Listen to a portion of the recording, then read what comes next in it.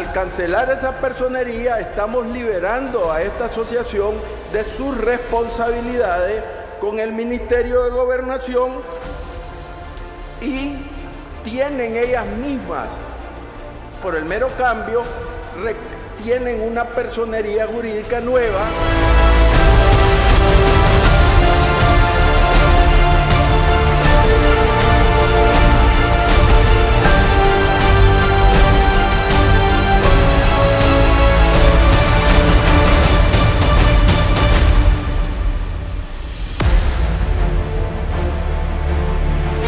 En torno al trabajo que está haciendo la Asamblea Nacional con la ONE, que es de organizar y obligar al cumplimiento de la ley a las organizaciones sin fines de lucro.